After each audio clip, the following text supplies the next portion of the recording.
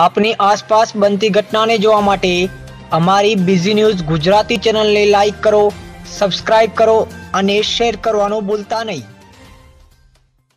સાબરકાંઠા જિલ્લા પંચાયત સહિત આઠ તાલુકા પંચાયત અને ત્રણ નગરપાલિકાઓમાં પ્રમુખ ઉપપ્રમુખની ચૂંટણી હાથ ધરાઈ. જે અંતર્ગત સાબરકાંઠા જિલ્લા પંચાયત પ્રમુખ તરીકે ધીરુભાઈ પટેલ તેમજ ઉપપ્રમુખ તરીકે અમૃતભાઈ પરમારને બિનહરીફ વરણી કરાય છે. જોકે બિનહરીફ પસંદગી પામેલા પ્રમુખે ગ્રામીણ વિકાસ તેમજ ભ્રષ્ટાચાર મુક્ત શાસનને પ્રાથમિકતા આપવાનું જણાવ્યું હતું. અને સાબરકાંઠા જિલ્લા પંચાયતમાં સ્થાનિક સ્વરાજ્યની ચૂંટણી અંતર્ગત ત્રીસ જેટલી બેઠકો પર ભાજપનો ભગવો લહેરાયો હતો. જોકે માત્ર છ બેઠક ઉપર કોંગ્રેસના ઉમેદવારો જીતી શક્યા હતા. જેના પગલે આજે સાબરકાંઠા જિલ્લા પંચાયત પ્રમુખ તેમજ ઉપપ્રમુખની બિનહરીફ વરણી કરવામાં આવી. જે અંતર્ગત વિજયનગરના ખેડસણ કંપાના વતની ધીરુભાઈ પટેલની જિલ્લા પંચાયત પ્રમુખ તરીકે વરણી કરાય છે. ત્યારે આજે સાબરકાંઠા જિલ્લા પંચાયત પ્રમુખ તરીકે પદભાર સંભાળ્યા બાદ તેમણે જણાવ્યું હતું કે આગામી સમયમાં સાબરકાંઠા જિલ્લાના ગ્રામીણ વિકાસ ઉપર જોર આપવામાં આવશે. તેમજ ભાજપ દ્વારા જાહેર થયેલી યોજનાઓને છેવાડાના વ્યક્તિ સુધી લઈ જવા પ્રયાસ કરાશે. સાથોસાથ ગ્રામ્ય કક્ષાએ પડી રહેલી સમસ્યાઓનું નિરાકરણ લાવવા સમગ્ર ટીમ કામે લાગશે.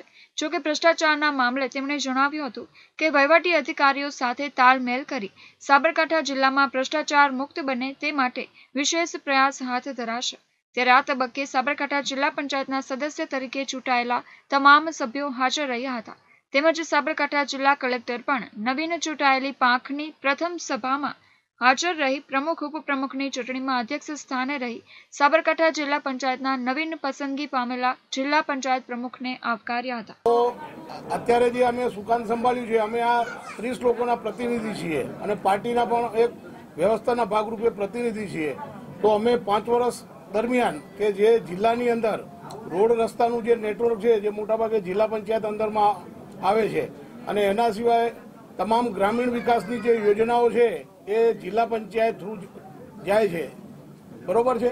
એમાં મકાનો છે, પછી ખેતીને લગતી યોજનાઓ છે, કે જે સાધન સહાય ખેડૂતોની જે છે, એ યોજનાઓ જે છે, તે જિલ્લા પંચાયત થ્રુ જે આવે છે. બીજું કે બીજું કે નરેગાની જે પણ યોજનાઓ ચાલે છે લોકોને રોજગારી માટે.